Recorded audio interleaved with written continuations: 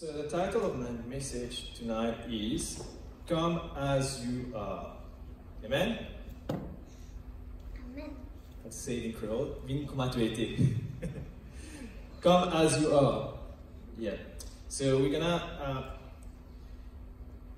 read uh, from the Bible, but first thing is just want to how many how many have ever been to a friend's or a family's place and waiting to get something to eat but never got it? Someone? Anyone here? Selena? Una? Yeah, especially when you've driven like gone for a long distance, go to that friend's place or family, and then waited for some food and never happened. I've been there, um, and it's frustrating. And similar story that we're gonna look at. Um, everyone's heard of the, the five loaves and, and the two fishes, yeah? Mm-hmm. The story when Jesus feed the five thousand. So we're gonna have a look at that. But before, before we go into that, I just want you to know that the Bible is real. Amen.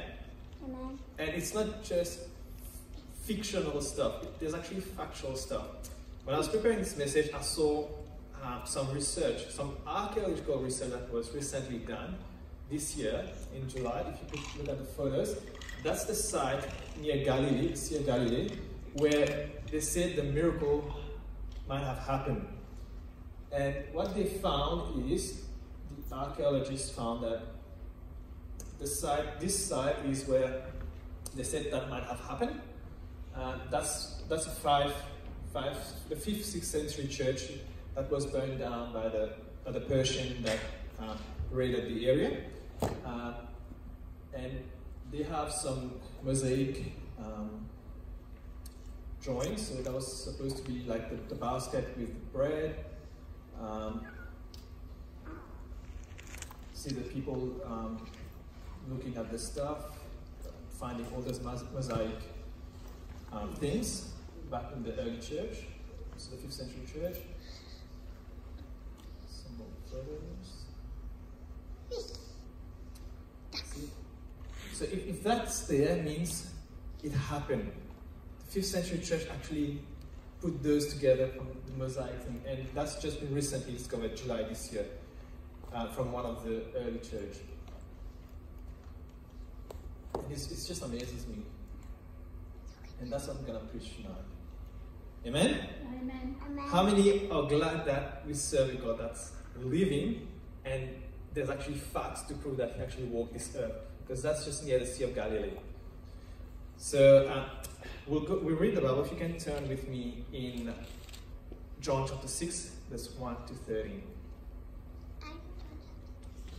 I'm going to read. You got it? Amen. Sometime after this, Jesus crossed to the far shore of the Sea of Galilee. That is the Sea of Tiberias. And a great crowd of people followed him because they saw the signs that he had performed by healing the sick. Then Jesus went up on the mountain and sat down with his disciple, and it was the Jewish Passover festival. It was near. Jesus looked up and saw a great crowd coming towards him. He said to Philip, We shall buy them some. Oh, sorry. He said to Philip, when Jesus looked up, he said to Philip, Where shall we buy bread to these to feed those people to eat? Uh, he asked. He, asked him only to test him, for he already knew what was in his mind. Is that slide change? Yeah. So, verse 7. Philip answered him, It would take more than half a year's wage to buy enough bread for each of the people to have just a bite. Another, his, another of his disciples, Andrew, Simon Peter's brother, spoke up. Hey, here, here is a boy with five small barley loaves and two small fish. But how far, how far would they go among so many? Jesus said, Have the people sit down. There's plenty of grass in that place. And they sat down. And Jesus then took the loaves, gave thanks, and distributed to those who were seated, as much as they wanted. He did the same with the fish. When Jesus, when they had all had enough to eat, he said to his disciple, Gather the pieces that are left over, let nothing be wasted. So they gathered them and filled their 12 baskets with the pieces of five barley loaves left over by those who have eaten. Amen?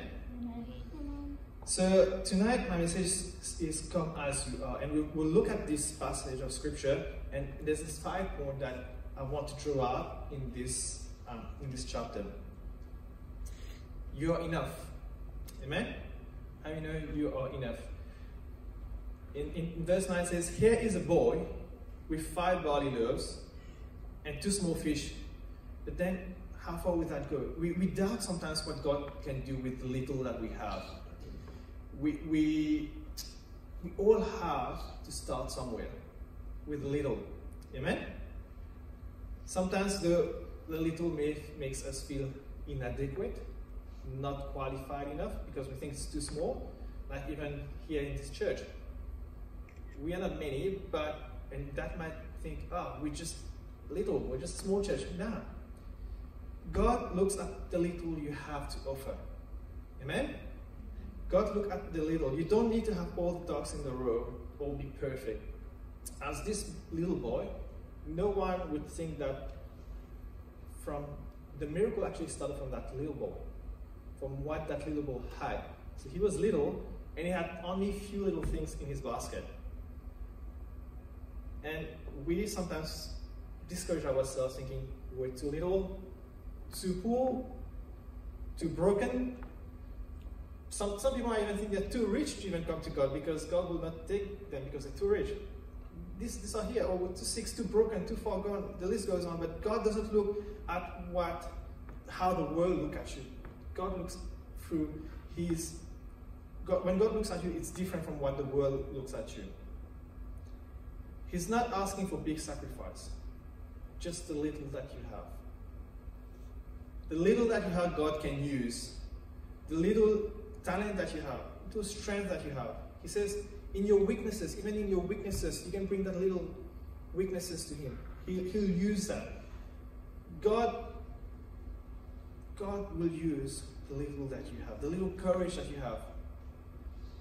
Sometimes we, we, we might be scared because we think if, if we just put a feet out, it, it might ruin us. But if you, if you just take that little step of faith, Take that little step of faith and, and, and go ahead with that. Don't listen to the negative voices. Last week, I don't know if you guys remember when I, when I spoke about communion, about Elijah. You know, the little flour that he had, uh, that, that the widow had, and gave to Elijah, make it bread for Elijah. And God used that, and he was overflowed. His, his barns were overflowed. God look at the little that you have. Amen? Amen. It's more about the obedience. And, and if one thing as well, if you look at that scripture, God, Jesus thanked for not only the bread, but for the two small fish as well. So it might be insignificant what you have in your hand right now. But if you just give thanks to God, obey Him and trust Him, with, with the world, you will, you will never be good enough. You will never be enough. But with God, you're more than enough. Amen? With God tonight, you're more than enough. Are you guys with me? Yes. Amen. Second point is trust the provider. Hmm? In in verse 5 to 7, um, Philip came to God. It's like, it's going to cost too much to feed these people. And in, in other translations, it actually says uh, it's going to cost 200 denarii. That was the, the, the, the, currency at the time. And one denarii was a day's worth of salary. So 200 was like over a half, that's what I said, more than half a year's wage. And that, that's a lot of money. And, and even that, he said, even that 200 denarii wouldn't even feed the people properly. They would actually get a, a popcorn chicken probably get a small popcorn chicken in their mouth, and that's that's what happened. But that, when we look at that, though, it's like we understand that we'll always have negative people around us. Like Philip's like, where are we gonna find that bread? That amount of bread to feed all those people. And how many how many know there's always people who's gonna say, well, do you think you can do it? When we started the business, uh, I remember Priscilla had a chat with the previous boss. It was like, you're not the leader. Who do you think you can, what do you think you can do? And that's true. People look at you in the physical eyes. There's nothing wrong at what Peter said because he was actually looking from the natural sense, in the natural realm. But the thing is, how many go how many knows we are spiritual people?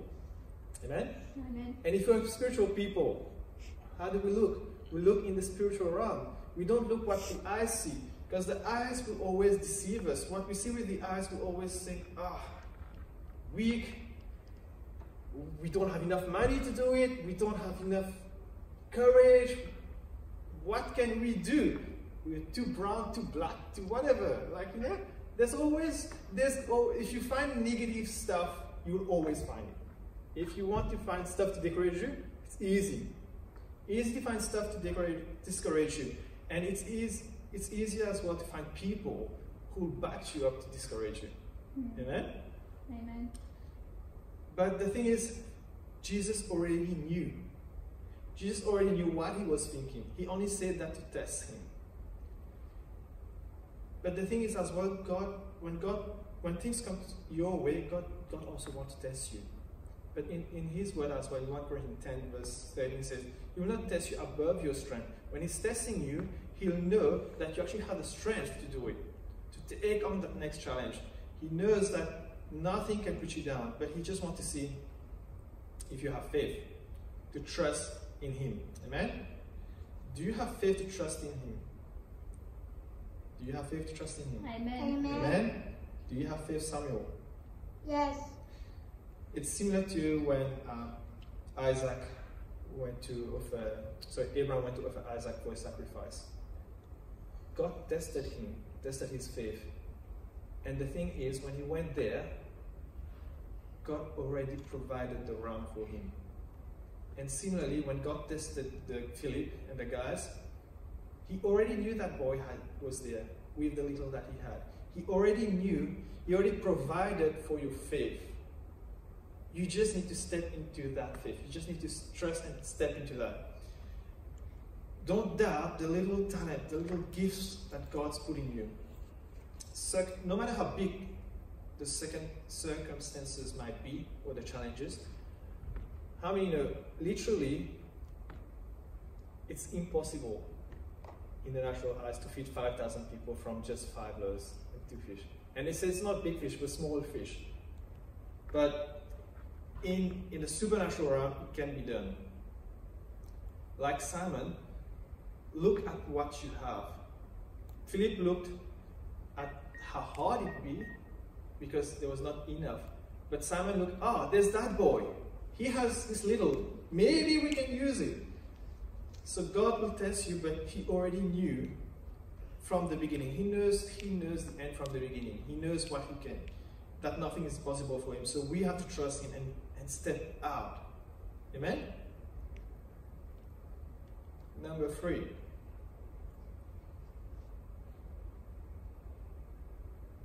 Abundance come when we obey God. There's abundance in, in the obedience.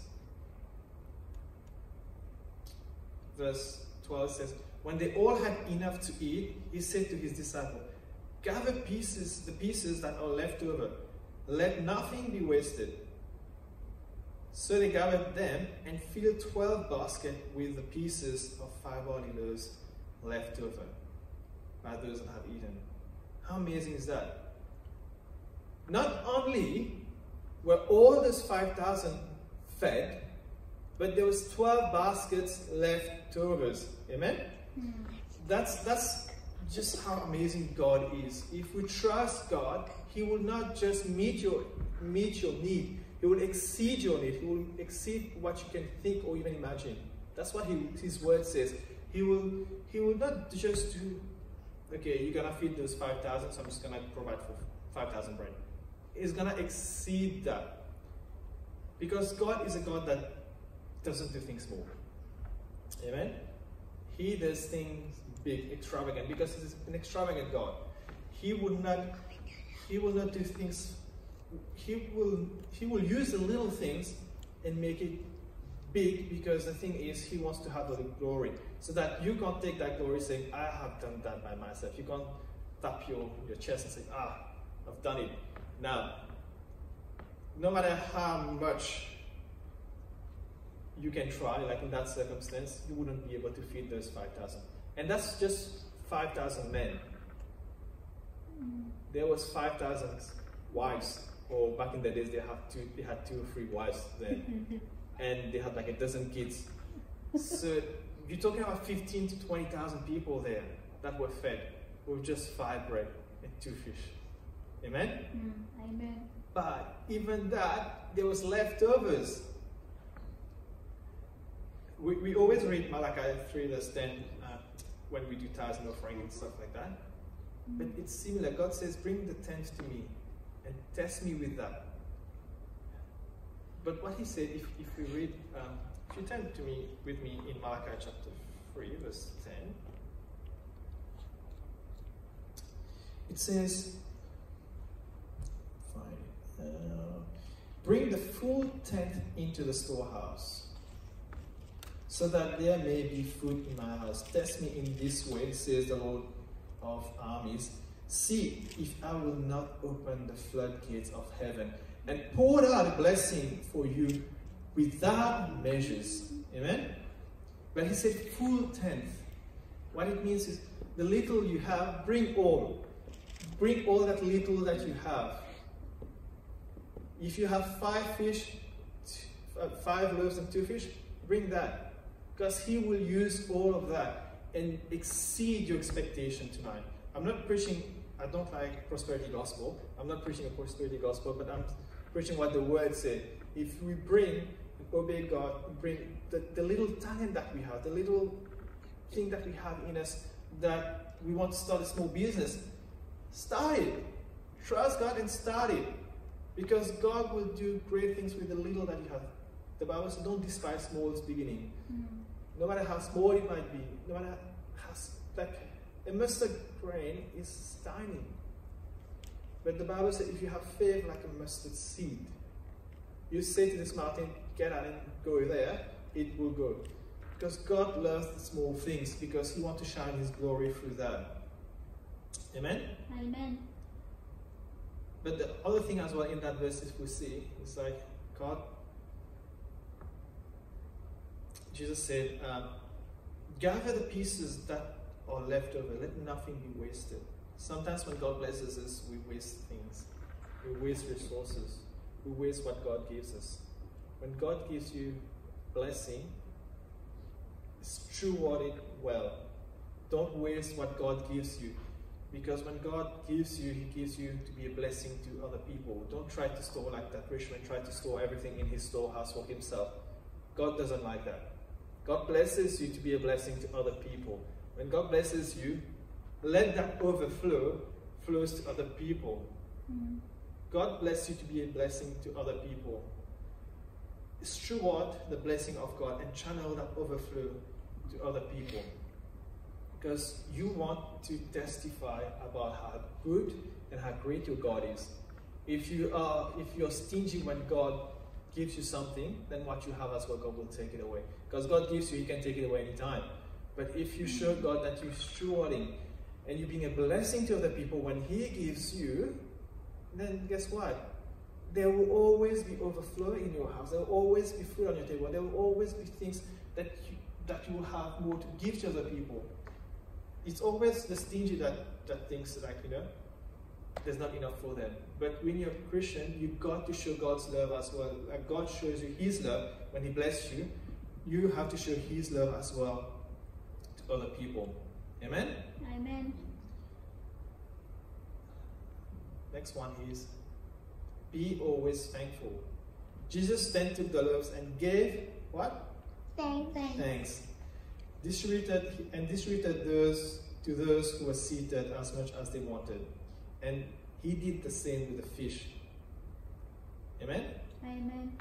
Uh, one, one of the first things we learned as Christian when we first became a Christian was say grace. Mm, How many still say grace today? Amen? amen. Sometimes we forget it. But that's one was one of the main difference when we became Christian that we learned to say grace because saying grace teaches us that what we are having is not by our own strength. It was given to us by God. It provided the strength, He provided the courage, the intelligence that you needed to earn wealth, to have what you have, to have food on your table. So give thanks and say grace. Sometimes we, we think it's, it's weird, but it shows difference in us. You should, like Joe, you, I know you do that, but when you teach your kids to say grace, that's make a difference with the other kids at school. When he's sitting down and she's saying grace to what she has, people will be like, why are you saying that? And that started, that's a conversation started. I remember when I first came to Australia as well, when we go to um, KFC, we go to anywhere, we'll say grace, and people look at us weirdly. But that was the difference. Back in the days as well, that was what showed the difference in Christian people. When you say grace, people think, oh, they're weird, but they're not weird. But because after that, they will ask question, why do you say grace? And that's when you can talk to them that I say grace because I know there is a bigger God than me, and He is the one provided for what I have now. And when we put God first, He will always provide more to us. He will always give us better strength. No matter how, how much you have, the little or lot, always recognize where that came from. Because sometimes we, we might forget it when we, we have abundant. When we have little, yeah, we, we say grace, but when we have a lot, sometimes we just think it's our own strength that we've earned all that. But learn to say grace in and give thanks to God in all circumstances. Because He gives you the strength to earn those wealth. Give honor to God and put Him first in all areas. God, Jesus could have said, Jesus could have said thanks only for the bread, but He said thanks for the fish as well. Mm. That showed us that every area in our life every single area. Be thankful for your job. Be thankful for your family. Be thankful for your car you can drive. Be thankful to be in a country like Australia. There's so many things we can be thankful for. Be thankful that we're still breathing, we're still alive. We can, I can stand here because God allowed me to stand here. I'm thankful for that. Amen. Be thankful for the little things that God gives you every day. Be thankful for clothes you got to wear. That's a new shirt, by the way. Okay. Thank you, Sonela. That's that was my birthday gift. Be thankful for everything you have in life. Um, sometimes we we think we have it so bad that you know we can't thank God for anything. But you know, guys, there's there's actually people in worse circumstances like you right now. There's actually people in wheelchair right now. When, when we were looking at uh, a floor plan last time, we actually, by regulation, we actually have to keep a certain dimension for wheelchair to go through. And that makes us realize we're like, ah, we don't need, well, people would not probably come in wheelchair at, at that office, but the thing is, there are people like that right now in wheelchair. And we got to stand here, walking, breathing, enjoying life. It's something we need to be thankful. When I when I had my car accident, in just that snap like that, in just in a second, I couldn't walk. And that's the thing. You learn to be grateful for being able to walk.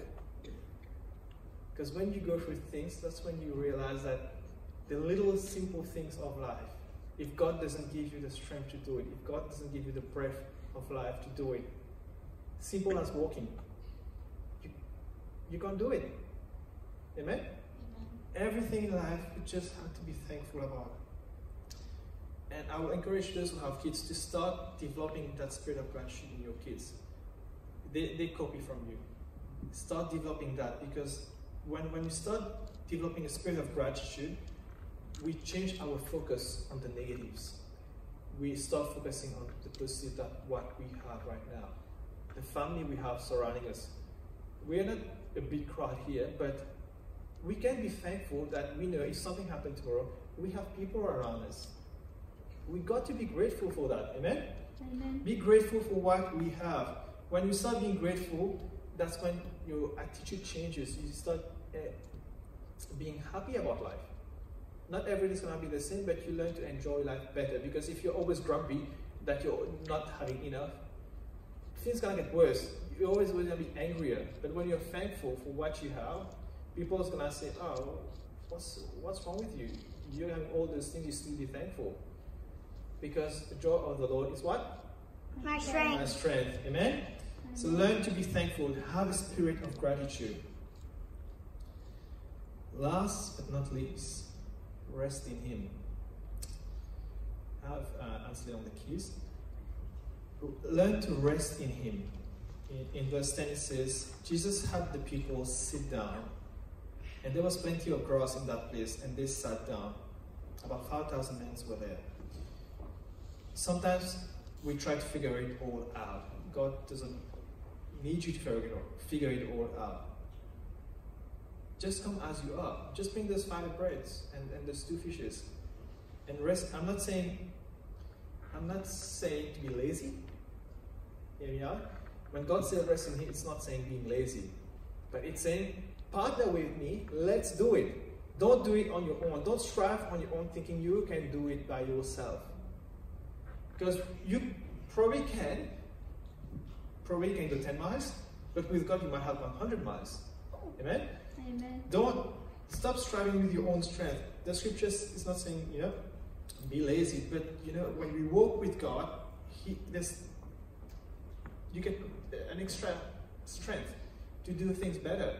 To, you, you learn, uh, you get more creativity coming from God when you try to trust in God more. There's many many things in our area when um, we try to do by ourselves, and then when things goes wrong, you go to God for help.